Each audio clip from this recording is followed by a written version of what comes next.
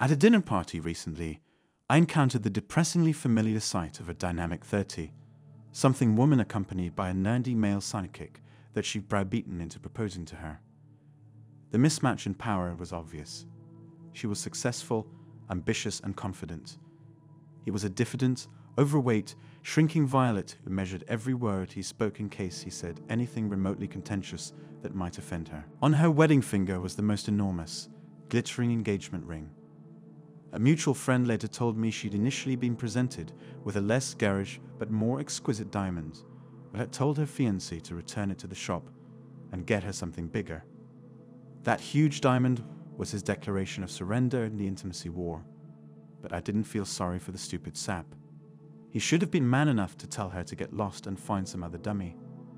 Instead, he'd been sucker punched into a lifetime of nagging and neglect, and looking at his bossy wife to be parading her huge rock.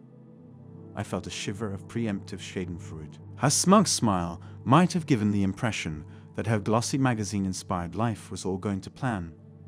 But I could see the tragedy to come. One day she'll realize how dull and unfulfilling it is to have a man who doesn't answer back, who offers no challenge or danger. But by then, she'll be over the hill and stuck with him for fear of being left on the shelf. Sadly, this is the state of many marriages today. Back in the 90s, emboldened by the successes of feminism, women sought to slay the dragon of patriarchy by turning men into ridiculous sissies who would cry with them through girl flicks and then cook up a decent lasagna. Suddenly, women wanted to drive home their newfound equality by molding men to be more like them. This velvet revolution was reflected in a series of broader cultural changes. After decades of uncompromising movie heroes like Marlon Brando and Clint Eastwood, we were asked to fall for stuttering, floppy haired fops like Hugh Grant, touchy feely, and hopelessly embarrassed around women. No doubt at the time, millions of misguided single women thought that having a man who could feel their pain was a good thing. Now, over a decade later, women are waking up to the fact that these men are drippy intimacy bores. The feminization of men hasn't produced the well rounded uber males women were hoping for. Instead, women are now lumped with men whom they secretly despise but are too proud to admit it. Rather than partnership, professional women tend to seek dominance in a relationship. They map their lives out early on and pursue their dream of having it all with cold blooded ruthlessness. Young women have a crystal clear agenda. They want the career, the wardrobe, the smartly furnished house, the 4x4, and the cute kids they'll ferry in it to expensive schools. No man is going to get in their way, and the men they choose for themselves are pliant and feeble enough to facilitate that program. Concentrating so much energy on work and family matters requires these women to pick a man who is predictable and secure, who won't upset the apple cart by pursuing dreams and instincts of his own. These are cardboard cutout men who gush with empathy whenever their wives and girlfriends need to dump their professional stresses and female angst on them. Weak and soulless men who haven't the guts to make a mark on themselves, who take the passenger seat in their women's juggernaut journey to post feminist nirvana. But having ticked off the various items on their life checklist, women are left with a nagging sense of dissatisfaction. Where was the drama? Where was the passion? Where was the stimulation and growth? It was all forsaken for an anodyne, materialistic shopping spree that is a good thing, ultimately a poor substitute for a real life. These women consider themselves to be alpha females, but they are nothing but a pathetic sham. A true Amazon couldn't stand the company of a supplicant male, let alone marry one. Real alpha women are the ones who can more than hold their own with an alpha man.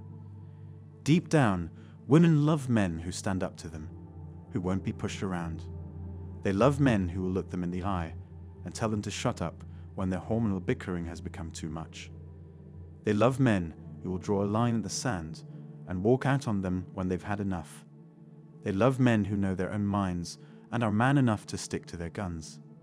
It is unhealthy for a man to embroil himself in arguments with women. While men want an argument to make sense and have a rational conclusion, women solely want the argument itself. It's a pressure valve for their emotions and once they get started, there is no stopping them. I deal with these elements of the female personality in passive indifference. I only want to be with a powerful and capable woman.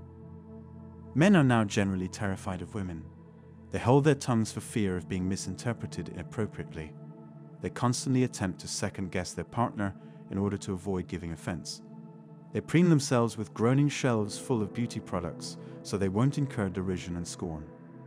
They suppress their masculinity and present themselves as cuddling Mr. Nice Guys and won't project self confidence in case it's regarded as unreconstructed machismo. This backfiring feminist conspiracy has developed hand in hand with the march of raging political correctness in the West.